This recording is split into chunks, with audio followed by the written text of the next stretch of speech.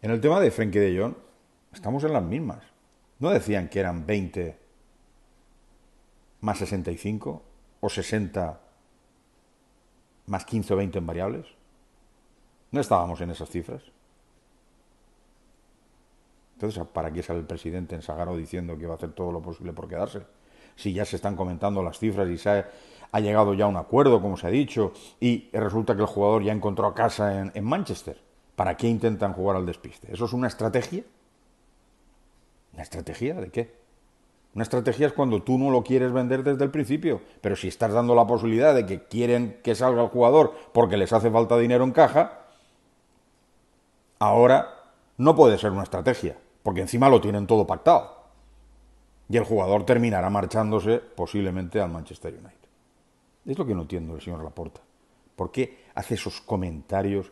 Ahí es donde demuestra la improvisación real y total que tiene al frente de la nave del Fútbol Club Barcelona. Y esto es lo que nos debería preocupar a todos los culés. Sí, sí, sí. Una persona que actúa con tanta improvisación está, está siempre expuesto a que pueda ocurrir cualquier cosa. Porque como no sabes de qué van, no nos dicen los contratos que nos firman, las cantidades, los años, si hay recompras, no nos dicen absolutamente nada. Todo tiene que ser una imaginación y una confianza total en los que tenemos. Ahora, confianza plena. En el tema de Dembélé, me parece una poca vergüenza todo lo que está ocurriendo. Si el jugador termina renovando, que es mentira, porque están diciendo algunos medios, es que es una renovación, no señor, es un nuevo fichaje, es un nuevo contrato. El contrato del jugador terminaba el 30 de junio. Coño, a ver si se entera alguno, a no ser que haya alguna cosa que no nos estén contando. Porque eso también podría ser, igual hay algunos que tienen otra información y juegan en otra división y en otra liga porque tienen una filtración directa y a lo mejor no nos están diciendo lo que nos tienen que decir al resto. Pero si todo es normal, Dembélé terminó el 30 de junio su compromiso y su contrato laboral con el Barcelona. Por lo tanto, si le vuelven a hacer un contrato, es un fichaje. No es ninguna renovación. Es que ahora el jugador ahora va a aceptar el 40% de rebaja.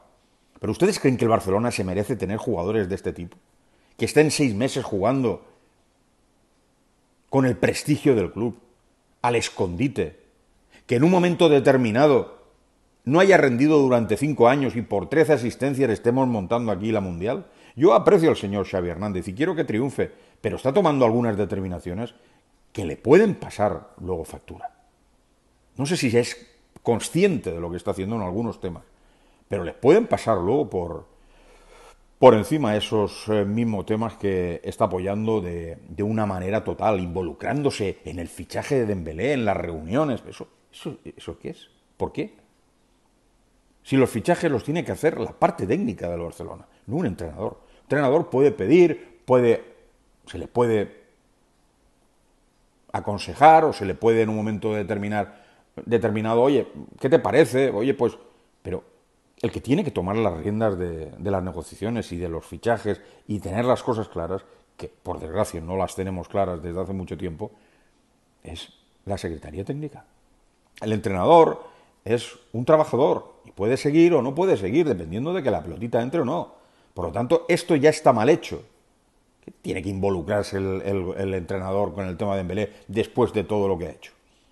Venían aquí restregándonos que tenían no sé cuántas ofertas y cuántos millones y primas de fichaje y no sé qué, no sé cuánto, y ahora perdona un 40% y con la cabeza agachada tiene que entrar en el club otra vez. ¿Qué imagen nos da al Fútbol Club Barcelona hacerle un contrato a este señor.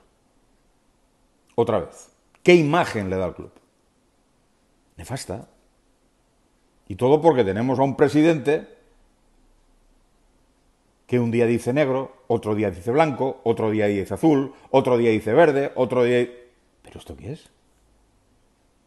Usted es el señor presidente que en las elecciones se lo comía todo y que iba a comérselo todo y que iba a entrar y que iba a cambiarlo todo porque tenía las soluciones de todo.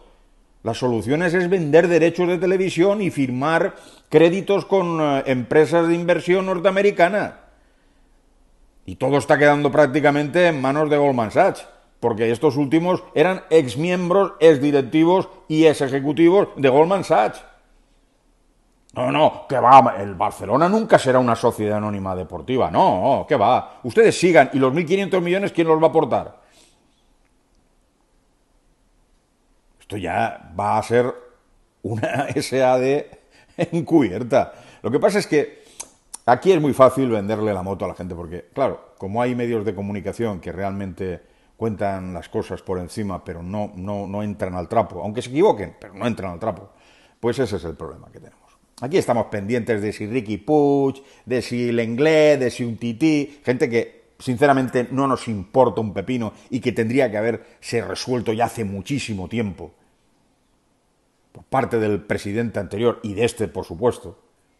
Pero no, aquí estamos, bueno, es que, es que sí, es que estamos mirando, es que, ay, pues ahora, y todos son cesiones, y a ver cuánto pagas tú y pago yo de la ficha del jugador. ¿Esto es solucionar los problemas del Barcelona?